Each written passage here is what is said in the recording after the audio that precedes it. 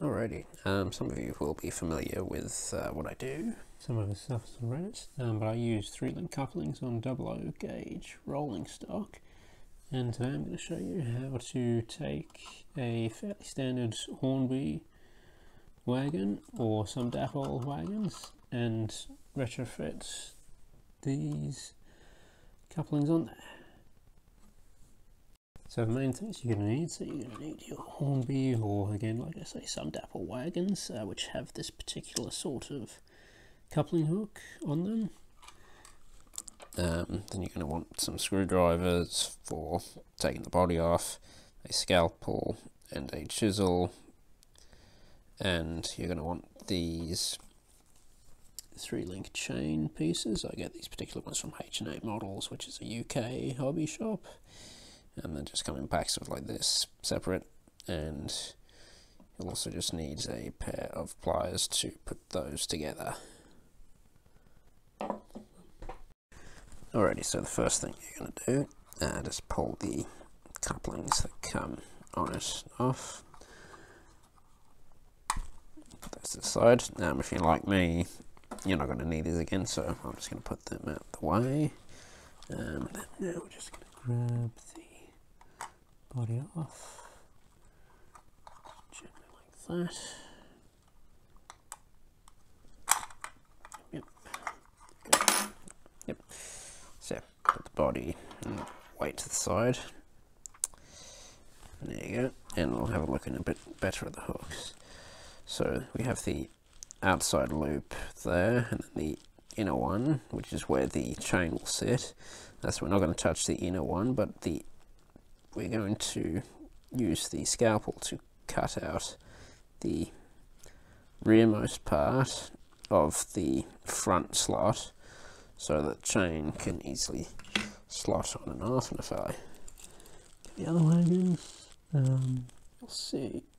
It doesn't quite yeah it doesn't actually sit on. It will click in and out but that's not what you want for smooth operation uh, you want it to click, you want it, the chain to click in and out of the second one so that it's changed, so that chain stays there, but the front one you want it to go out straight and forward fairly easily.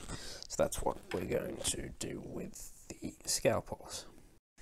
Already so at this point, and yeah, the reason why you take the body off is just so that it's a lot easier to get in with um, again wagons like this one you might be able to get away with not taking the body off but like generally speaking makes it a lot easier for you um, so you take, so I've got the flat chisel blade, you might not need the other one actually at all.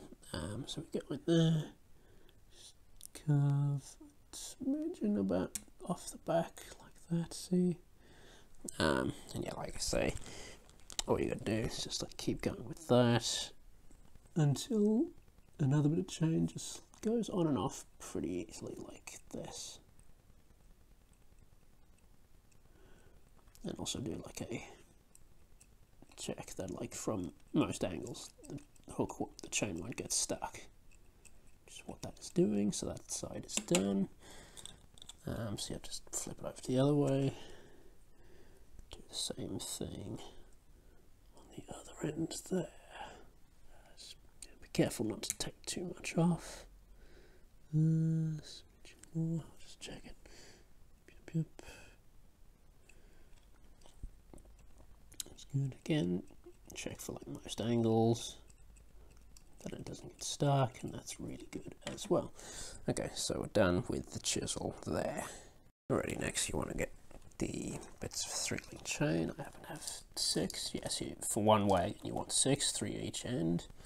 Um, three four five six. Yep easy um, so you just take one at a time so yeah get your pliers out you just split them apart like that. To make one loop, you just take two other pieces. One, two,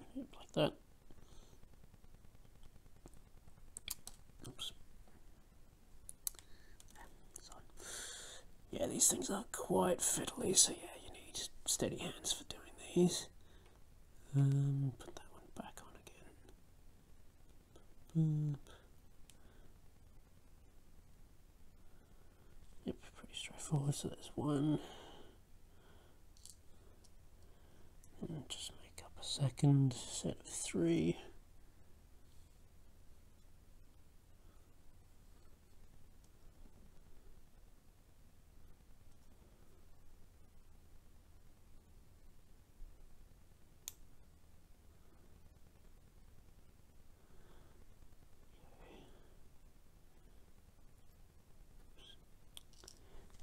There you go.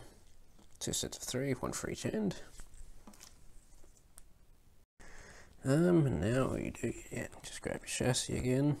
Um, with the links, you tend to notice one side has a teeny little bit missing on one side, so you want that side in the back divot of the hook.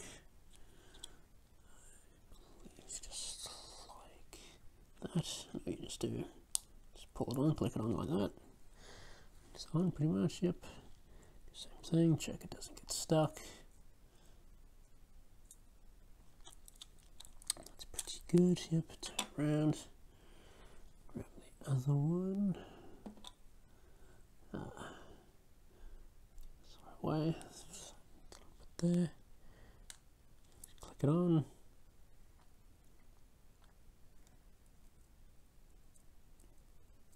And there you go. It's all in there quite nicely. And so pretty much all you do now, just grab the weight.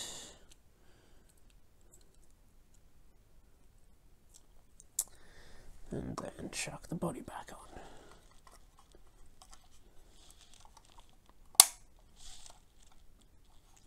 And there you go, it's that simple quick and easy. And now this will go straight on to the layout that I have the layout that I have with all the other bits and pieces that I run. So yeah there you go. Enjoy